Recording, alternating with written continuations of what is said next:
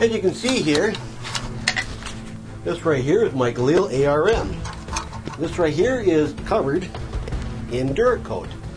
Now, if you don't know what a Duracoat finish is, Duracoat is basically an epoxy paint.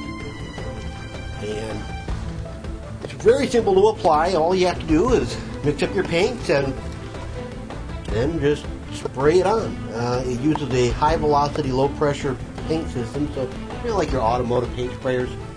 Nice and simple. There's nothing to it. You clean it, paint it, and in this case, you use little templates. Uh, this is more of a digi pattern, and in this case, I used a camouflage scheme because this right here was specifically designed for more of a desert climate. Now, if you're going to have a camouflage pattern, make sure that it suits your environment. Now, if you're going to be using this in something like a woodland environment, this right here would stick out like you would not believe. Now, the easiest way is to take a picture of your environment, then have someone that really knows how to use photo software just to pixelate it really bad. So all you see is just, you know, like 16 blocks of color. Now, you take one of those those uh, pictures and you choose the colors you want out of there. And that depends on how many color pattern you want. If you want a two color, three color, four color. Uh, in this case, I went with a three color. Now, what you would do is you would pick out, you know, your dark, your light, and then probably something in between your base coat, um, and maybe even another color you're going to throw in there just to spice things up a little bit. Now that's the easiest way. That way you're, you're matching your environment directly.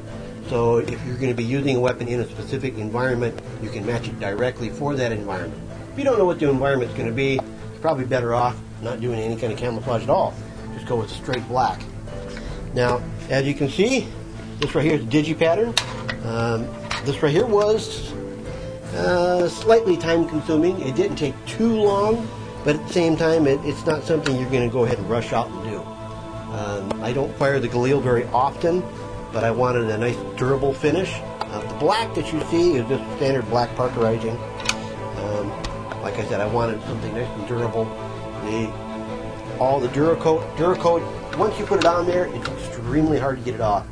Uh, you spray it on, and then you wait, oh, maybe an hour or two, and you can handle the parts. And at that point, you could literally put it together and shoot it, but it's not recommended. What you do is just let the rifle sit for two weeks. And during those two week time frame, the enamel will harden and it, it gets rock hard. Uh, you have a hard time getting this stuff off with a sandblaster, and I've used the sandblaster on this stuff, and it's a pain. Now, this stuff is water resistant. It is salt resistant. It, it's a it's a great finish.